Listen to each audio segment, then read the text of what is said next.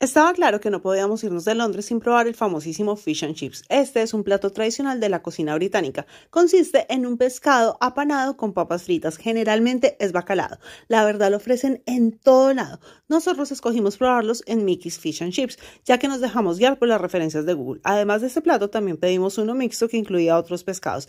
La verdad, la calidad estaba bueno. Estaba muy fresco y se veía delicioso. Y también estaba delicioso, clarísimo. El precio era bastante bueno, ya que rondaba los 10 libras, y esto es bastante competitivo para todos los otros restaurantes.